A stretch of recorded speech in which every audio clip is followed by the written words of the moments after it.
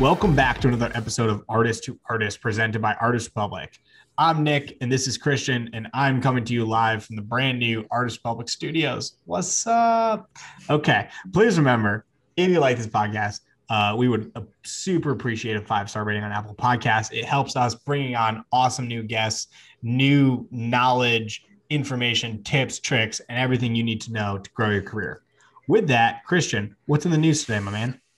Well, Here's a uh, collaboration that I never thought would happen. The Jonas Brothers and Marshmello just dropped a new song called uh, Leave Before You Love Me.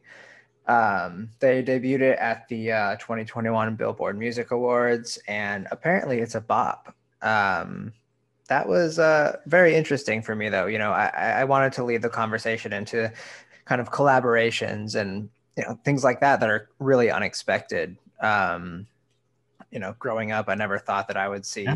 the Jonas Brothers on an EDM, a huge EDM artist's uh, song as a as a feature. I mean, hey, collaborations are a huge part of the market today. With that, we'd like to thank our sponsor, Featured X, for being the collaboration marketplace of the future. Just kidding, it's not our sponsor. Um, if you know what Featured X is, you can check it out, featuredx.com. It is the largest marketplace for literally features and collabs um, where stuff like this happens. Trading genres cross genres anything from rap artists to edm artists punk pop metal deathcore anything that you need featured x has and it, it exactly correlates back though to this topic which is there is a change in the market. Um, you know as people have said when records were coming out features weren't a thing because it didn't matter. Um, you know if you had an artist on your album you were still getting put in the same area of the record store where now, when you have a feature, you're going to show up on that bigger famous artist page on Spotify. So now you can cross pollinate fan bases. And that's a huge piece of features. They are amazing for organically growing fan bases and getting your music out to new people. Um, and stuff like this is happening every day. You know, there's EDM artists collaborating with people from deathcore and punk pop and you know how many different genres is machine gun kelly featured on um, you know, and and so it's it's such a uh, interesting thing. I actually saw that. Um, ironically, I was digging through Marshmello's life last night um, because I was just curious. If, you know, it's come out yet that you know he's Chris a dot com. If you know he's taken off his mask yet, saying like, "Hey, what's up? I'm dot com," um, but I guess he hasn't yet. So that's why I was digging through and I saw that and I was like, yeah, that's a sick collaboration. And it just, you know, brings back the importance of collaborations and, you know, where the market is going and the market is going collaboratively. Definitely. Definitely. Well, so with that collaborations, let's have our collaboration of the day. we are bringing on special guest Mundo, who is an artist, producer, and influencer who has gathered a following on TikTok, passing advice and experiences to artists, to artists and audiences interested in navigating the music industry. On TikTok, Mundo shares lots of tips, tricks for music production, networking, and increasing productivity. His goal is to get audiences to critically think about themselves and orient themselves and their attention towards becoming better at making progress toward their goals. Mundo's own productions have a common eerie and kind of off color brand and derive inspiration from an electronic music background. He is currently attending MTSU and studying audio production and is on track to graduate in May 2022. So he's still in college. With that, let's dive in and let's see what this is all about. So, Mundo, let's get started. Um, the way that I love to start these conversations off is just kind of by having you walk us through kind of your story. Um, you know how how you got into the music industry and like how you got to where you're at today. Okay, I, I think it's almost um, funny question because it's like, well, when you start, I think there's almost multiple answers, you know, because you know I could start when I was like 12 trying to make dubstep in GarageBand, which you can imagine how that went. You know, it's like uh, not too hot, you know. Uh, watching a lot of like music production videos, just trying to like figure it out myself. And then I was in high school still doing it. My dad told me he was like, you know, yeah, my name's Ray, you know, it's my birth name. He's like, you know, Ray, like I, I, think this music thing is like what you really want to do. I was like, well, why do you think that, Dad? He was like, well, it's the only thing that I don't have to tell you to do it. You just keep finding yourself doing it. But um, really starting to like take it serious and it's like, all right, I want to navigate and like advance in this industry. I would say about a year ago, it was a, a change of circumstance for me. And I really sat down with myself and I was like, all right, how can I orientate myself so that I'm progressing towards my goals at the most productive rate that I can? Like, kind of like, I don't know. I think that's something uh, really important. I could start talking about like uh, uh, my TikTok videos and stuff like that. I pass advice and like talk about similar things and have similar conversations. I think it's really important for small artists. If you really have high aspirations in this industry, it warrants uh, a crazy work ethic, you know, and becoming very precise with um, how you spend your time and really understanding your goals and sitting down with yourself and orientating yourself and it's like, all right, what do I want to do? Where do I want to get? And kind of looking at all the facets of your skill sets and your weaknesses. And this is kind of what I did like a, about a year ago or so. I'm like, okay, well, what do I want to do? Well, I want to build a brand with Mundo. You know, how do I do that? It's like, okay, so I make electronic music. I don't have a particular vocal talent. People want to hear words. I should probably get in touch with singers and rappers and people of that skill set, you know? And uh, like sitting down, analyze your skill set, figure out what types of people you might need around you, and figuring out where to find them as well. And like, uh, oh shoot, lost my train of thought. I'm anxious on here.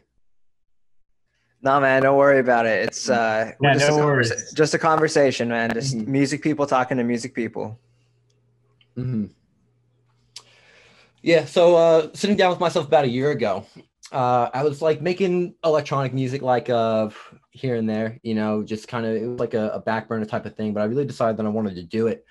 So um, I was like, okay, well, what artists are like succeeding and which are kind of like all blending in together? And I noticed the ones that blended in together to me didn't really have like a particular sound. They were just kind of like doing it here and there, but I, I- wanted to like really take it serious. Like uh, when you think of like Kiss, you think of very specific imagery and a very specific sound. When you think of Marshmello, you think of very specific imagery and like a specific sonic to like his work. And I was like, all right, well, let me start to define that.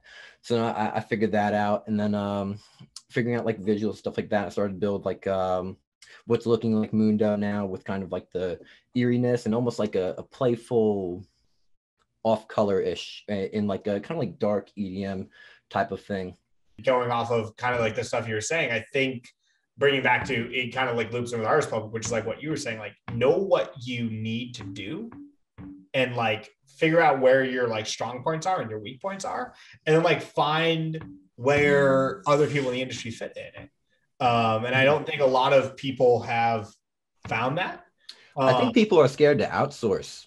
I, I've noticed Yeah. that with artists that I interact with is like there's like a strange pride in well I do everything myself. You know, it's like well you actually might be putting yourself at quite a disadvantage with that. You know, because like well here you are like you you write your songs, you produce them, you try to mix them, you do, and then after first of all also you know good luck trying to like mix your own stuff because you you know after hearing it like over and over and over and over and then you just get so used to it's kind of like a demoitis but like a progressive demoitis because you're hearing it constantly and it's just like I don't know. I'm a big advocate for uh, outsourcing like a mix engineer. Not only that, you know, then you know, social media presence and trying to market your stuff and X Y Z. Like it's a lot to be doing by yourself, and I, I think um, there's no shame in having people around you like helping you do things. And in fact, I, I think there's just like more advantage in it than anything. Yeah, no, I agree. I mean, I think I can say it from the the business side of things. It's like when you create something, it's your baby. Like Artist Republik's my baby. Every song you create is your baby, mm-hmm. and like the last thing you want to do is go give it to someone else. But at the same time, mm. like you also have to remember, like you could be the worst person to take care of your baby. Like, you know, mm-hmm. like yeah, yeah, at the end of the day, like you, like yeah, you love it to death, but like you can also be the one to kill it. Like you got to mm. outsource it. Like people send their kids to school because they ain't the best to teach them. You know, like that's that's the same thing in Mhm. everything else in life. Like sometimes when you're too close to something, is when you're actually more detrimental to it than you are giving it to someone else. Um, and yeah, you know, it's it's a big thing. I know, I know for me, in Artist Republik, I don't code this thing. I'm not a developer. It's- you know, Mhm. It's a weird, unique thing to the music industry too, because how many movies have you seen with one name on the credits? You know what I mean? Like they're like, look at the credits. There's millions of names, millions of people, or not millions, you know what I mean? But you know, plenty of people put a lot of work into this film, you know, and like um I'm sure you, you know, if you look at a Bruno Mars song, how many people were on the writing alone?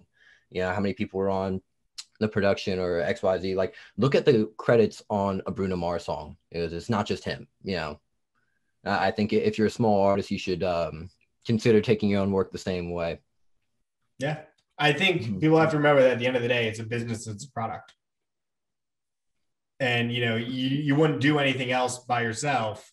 You know, you definitely need help to get to the next step. Right. Yeah. But at the same time, going back to like what you mentioned on like GarageBand, there's always a starting point. Like, no, GarageBand may have not been the best place to make dubstep, but you started there and you got your basics. And so many people, I think, don't let themselves start because they think they need the high tech software to start. Oh, I can't produce music out of a recording studio. Um, or, you know, I can't do this, I can't do that. Well, download an app on your phone and just screw around with it start just just try it and start and start with the basics and then slowly add more get more confidence get more stuff because then when you have the recording studio you're going to know what to do with it but you don't want to be in a million dollar recording studio and be at the level of someone who's just figuring out what you know, Yeah. the, the fader buttons do Mhm. Yeah, I just had a conversation with an artist actually, and he was saying, "Well, you know, Mundo, like, I, I think I want to do this music thing, but I just feel like I'm not like good enough yet." And what I told him was, I was like, "All right, well, you could just like not do it," and it's like, okay, but what if for you know two or three months you just like made it your life for a minute. Like what if you just like put all of your energy into it for just like a short period of time and just saw what happened? You know what i mean? Like really orientating it like in your schedule too and it's just like you're not going to get nowhere in a you know if you really put all your energy into something the odds that you get zero out of it is so slim you know? And Yeah. if you really feel like you know well i'm just not very good yet like well just try putting all your energy into it for like three months uh you know reasonably you know if you got to work a job or you know sleep. Humans need sleep you know? But just really put all your energy into it for like three months and see where you get. And like if you're still not happy or maybe like you, you don't have a love for it maybe you could you know run and do something else. Or maybe you know um, who am i to know? But i think the progress may be surprising exciting i think it will encourage you to continue pushing on with it and then that's how you improve you know that's how you I kind agree of with that. I agree 100%. And Christian, before I bounce it off to you to kind of go into that a little bit more, um, quick pause. Imagine if humans didn't have to sleep. Imagine how productive we would be. what would you do with your time I would sit in this office. I already live here enough. The only reason I leave is to go to sleep. If I didn't have to sleep, ooh, Artist Republik leaps and bounds ahead. Maybe that's what I'll do. I just won't sleep for like six months. We'll be good. We'll be yeah. That. but yeah, you'd have so much time to do so much more stuff um, or focus on the things you want and get them quicker. Interesting. Now, Christian, I'm going to pass that off back to you on that insanely interesting ta- sidebar. You know, I, I- I think this is a really interesting conversation, and I, think there's a big misconception with artists in the industry, especially young artists who are just starting out, and that misconception is, you know, they think that they're gonna drop one song that they made in their bedroom and it's gonna shoot them into stardom, and unfortunately, that's really not how it works. Um, it, it may work for the Justin Biebers and the Eminems of the world who, you know, do one thing and it shoots them to stardom. But in general, you know, the 99% of the music population, it doesn't go that way. You know, they work and they toil for years. And even Justin Bieber and Eminem did that. It's just the story that you hear about them makes it seem like it was like a one time thing and they were who you know them as today. Um, so, you know, uh, Mundo, you you say that you talk to a lot of artists, and I'm sure you get that question a lot. Of like, how do I get to that level? You know, like what what is what are some of the things that you kind of, I guess, uh, talk to people about on that topic? consistency and because think about it if you really want it so bad why do you not incorporate it in your life as often as you know well you probably eat lunch around the same time every day you probably eat dinner around the same time every day what if around the same time every day just like when you did those things you just had a dedicated time for getting closer to my music goals like whatever that happened to look like for you maybe you're in a position where well i need more songs like okay well for this hour block of my day uh, I will write more songs. Or maybe you're in a position where it's like, well, I need I need to learn how to produce better. It's like, okay, well, what if you cut out an hour a day and you're like, all right, well, I'm going to watch these producers who know what they're doing, do it and learn from them, or I'm going to watch XYZ tutorials or whatever, you know, the, the learning part, dedicating that time to the learning part and consistency in a sense of dedicating it into your day and incorporating it in your life, you know, and not making kind of making the mental move from it just being like a, a side thing, like, well, I, I do this music thing to like now like you know I, i'm doing like this music thing you know and like incorporating it in your life and then that's how you'll progress towards because no, you can't guarantee what's going to pop. You know I mean? When you're talking about your aspiration of, well, I want to be Post Malone, there's no telling what song is going to be huge. You know I mean? The best you can do is be consistent and just work towards your goals at a steady rate. And then whatever will pop will pop. You know, maybe you gather like a a cult following, whatever, like whatever happens with that will happen with that. But the best you could do is just be consistent and incorporate it in your life, like anything else. Definitely, and you know, I think you know, coming from a creative content perspective, is particularly on social media, people always say consistency is key, right? Doesn't matter how many followers you have, as long as you're consistently posting, that's going to grow itself exponentially over time. Um, and I assume that's kind of what you've done for your TikTok, right?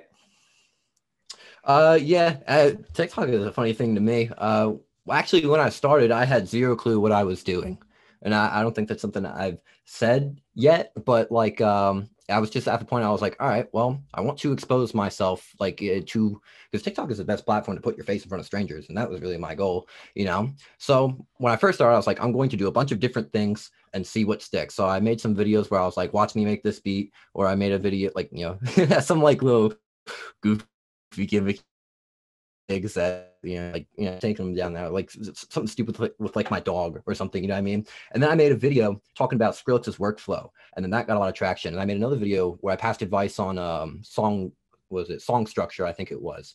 And i noticed that the videos that the audience felt could immediately apply to themselves had always done better. So i was like all right well let me provide value to people. And then this kind of like getting the gears turning of oh well to be interesting to someone else, you need to provide them value in some way. You know what I mean?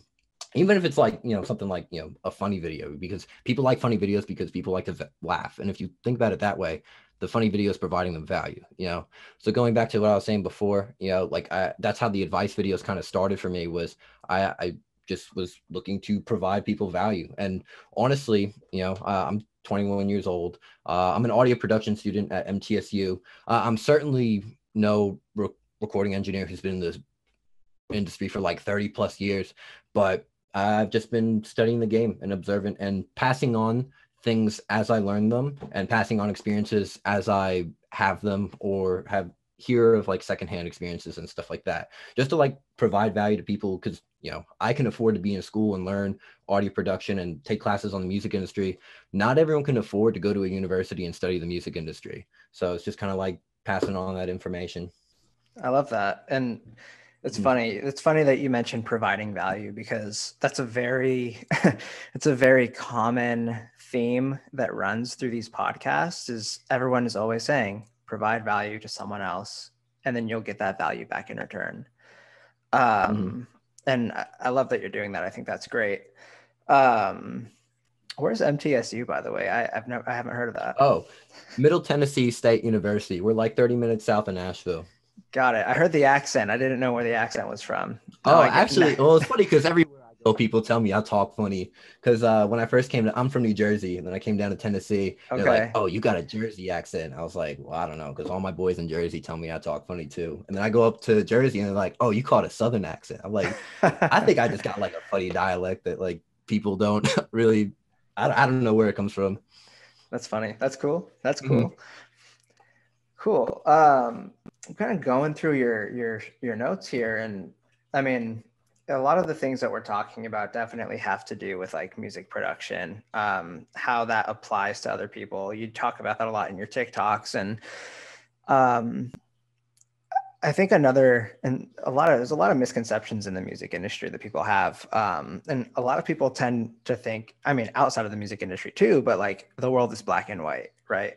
You know you do you have to do everything a particular way a certain formula and you'll get x result Um, and that's not the case. You know, you talk about how you make these videos after you've done something or experienced something and gain that knowledge for yourself. And that's amazing. Um, it's, I think it's important for artists to see that from another perspective. Um, and so, like, you know, TikTok is huge with people kind of like you giving these music production uh, tips and tricks. So, how do you stand yourself out from the crowd? Uh, I like to get my audience to think about themselves because I mean, I, I, can make a TikTok about how a compressor works, but there's seven million videos on the internet of how a compressor works, you know. But I I, try, I love to get my audience, and these are always the videos that do better too. Uh, actually, uh, side note, but uh, I I really enjoy getting my audience to look at themselves as an artist or as a songwriter or you know wherever they are now and wherever they would like to be and it's like, well, how can I maximize productivity to get there the fastest? Or how can, like, I, I love to get them to think about what they're doing now, what they could be doing better, or even presenting new thoughts like, oh, wow, I hadn't even thought that I could do that. Like, you know, when I presented the idea for the first time on TikTok, um, I said, well, when you release music, on just like you know Apple Music and Spotify. You can't just release it and expect people to stumble upon it. You know, you have to put your music play places to be found, and then introducing you know the idea of playlisting. And I was surprised how many artists like had never even really given that thought, and they're like, oh wow, like you have to put your music in front of people. Like that makes sense, you know. So yeah, just getting uh, presenting new ideas to my audience and presenting encouraging them to critically think about themselves in in a hope that they will change what they're doing and better their track as an artist. That's great. I like that. Yeah. I like that a lot. And there's so many like tidbits in there. Like, you know, the fact, like you said, like I just started on TikTok. I had no idea what I was doing. It goes right. back to yeah. you mm-hmm. started on GarageBand. You had no idea what you were doing. Mm-hmm. Just start. Um, and you know, go back to the Vine days. Just do it. Um, right, right, yeah. but yeah, you know, that's, that's exactly what it is. And um, so going off of that, I guess you know my kind of question is, you know, going back to like what Christian Christian said, we've talked a lot on like delivering value, and and you've seen the return of delivering value in the sense of growing a you know quote unquote fan base. And so mm. my question for you is have you seen that the value has trans like the value that you're delivering online, have you seen it translate offline? To like actual in-person connections. Oh, actually, um, I got recognized, which is funny because you know my numbers aren't even particularly crazy. I only have I think like 2,300 or so, but it's like you know they're they're an attentive, or at least a good percentage of them are an attentive 2,300. Like um they they are interactive, and I actually get like DMs. They're like, "Yo, thank you so much," or they'll send me music or anything. But I actually got recognized when I was like out to eat. I was ordering food at a restaurant, and uh, someone like turned their head and then, uh, you know, it's COVID, so people were like wearing masks and stuff. And then I, I kept ordering. He came up to me. He was like, "I knew it was you when I heard your voice, dude. Mundo, like I love your TikToks." And like he had, he went to MTSU apparently as well, but I had never seen him before. It's a large university. It's like twenty thousand students or so. And uh, it was like, "Yeah, dude. Like I, I, make beats, dude. Like you're on my for you page all the time. Like, dude, I, you always thank you, bro." And then um, we exchanged numbers, and then like now we have like a bit of a connection now. And then also uh, I, I've seen it translate online. Like I said, like I get like a, a good number of DMs, like probably like one or two a week of artists re- like genuine genuinely reaching out and being like yeah I, I love your videos dude or maybe they'll ask me like for uh, specific advice on like uh, their context or something like that. Uh, some used to send me like videos or not videos. They would send me their music. And then what i would do was I would listen through their music attentively and I, I would like kind of take notes on like the mix and stuff like that. And I'd set up my little iPhone on top of my my KRK right there, and I'd take like a little four minute vlog for them and just like kind of break down like their mix to like my, my best understanding, like helping them, letting them know things that they because there's a there's a way to give like constructive criticism without being like a dick and i i, I try very much to do that. Yeah. and uh let them know the things they're doing well the things they could certainly like improve on and then also getting into the like the specific like technical like well i think if you start to like high pass your stuff here and here like because i'm noticing mud and like really getting the nitty gritty and like I, have gotten like a, a, lot of very fulfilling responses on that. So I, i've definitely seen it translate. Oh yeah and then also into investment in mundo and like uh the things that i'm up to because then you know i start releasing music and some of the people who are interacting with um those posts and stuff like that because the followers are starting to trickle over from TikTok to Instagram. People who interact with those posts, I notice come from TikToks. I pay attention to like who, what, where people coming from and stuff like yeah. that. And I have seen a, um, because you know it's like 2,300 followers or so. Obviously, not all of those individuals are going to be intense Mundo fans. You know what I mean? There's going to be a good percentage who just follow for like some of the advice videos. And not only that, there's probably going to be a percentage within that who only follow for like tips and tricks, percentage who follows for marketing, a percentage who follows for networking. You know what I mean? But then there's also a percentage I notice that are invested now like in Mundo and because of the value that uh, I've um what's the word reciprocated to them. So then they were interested in like the, the things that I was doing. So yes, I, I have seen it translate uh, across a couple mediums. That's awesome. Mm-hmm. Yeah, no, that's, that's awesome. And that's, there's, you know, so many, that's a tip and trick for artists in themselves. Like, you know, just because you're a music artist doesn't mean you have to get famous from just doing good music. Like mm-hmm. there's look at Andrew Huang. Get those people to listen. Um, like I remember one of my one of my buddies who we had on one of the first podcasts, this uh, guy Joey Nato, um, who I've been homies with for years. And, you know, I was with him when he was just starting out. I remember he released his first album and, you know, he went through a course of like four years he's like, I just can't break that barrier of getting people to stream. And then like his content was there, his music was good, probably one of the most talented guys um, I've seen in, you know, come out of my state in Connecticut. And I followed up with him, you know, like about a year later. I was like, yo, man, like, how's everything going? He's like, dude, awesome. I was like, hell yeah, like, what's up? He goes, well, I had the idea to release a YouTube channel and where I just do reactions from a producer about other people's songs. He's like, my YouTube channel blew up. I have like 500,000 subscribers. Mm-hmm. And I was like, hell yeah. And he's like, yeah. And then I'm able to push my music through it. Mm-hmm. And now I have 100,000 monthly listeners on Spotify. And I was like, hell yeah.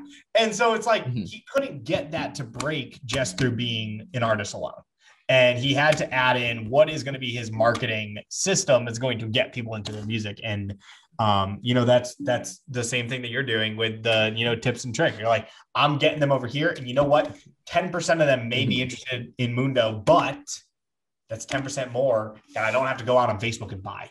Right. Uh, I, I, love the um like the reaction bit because there's, there's like a sense of community that comes from it. There's a yeah. um a producer i love it. He goes by eliminate. And uh he just started he started on youtube and he just made like just like funny music productions. Like he did one where he like messed with like an auto tune like fart or something like that. And then he started live streaming and he did oh man this was genius. So what he'd do was he called it audio combat where basically he would have like a sample of the week and then he'd set up a two hour timer. And then he would like work with the sample do the best he could like within two hours. But at the end of two hours meanwhile while he was working on that a good chunk of his audience were like messing with the sample too. And so they all send in like the soundcloud links and then he like goes through one by one and he plays like everyone's like creation with this like funny sample or weird sample. You know what i mean? And there's like a sense of community in that. And if you pay attention to like the the live chat there you know people are like there's like inside jokes in this community now and people like joking with each other and like it, and it got it gets to the point now where on the soundcloud links for the little image like they'll have like weird photoshop pictures of like eliminates face and stuff like that maybe on like I don't know, like Thomas the Train or something, you know, and like just, just like weird stuff like that. And like you growing like a community like that. And now it's not that just, you know, they're not just invested in a song or, or a song or two of his. They're invested in him and his brand and his presence. And that's such a difference when you get a sense of community like that. Yeah. Yeah. There's a huge difference in being invested in a person and a in a mm-hmm. brand. Um, yeah, no, I'm, I'm with that 100%. Christian, though, I would like to pass it off to you for yeah. the greatest question of all time.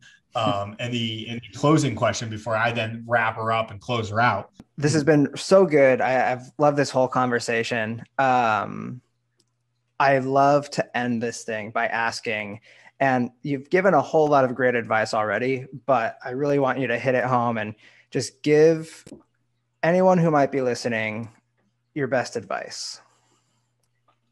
Uh, particularly for people who have aspirations in like the music industry, I assume. Yeah. Yeah.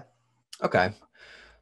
Sit down with yourself and like like write it down, like get a piece of paper and like really give yourself your full attention for a second and think about like your aspirations and like where you want to go you know? It's like okay well what have i been doing or what am i doing now?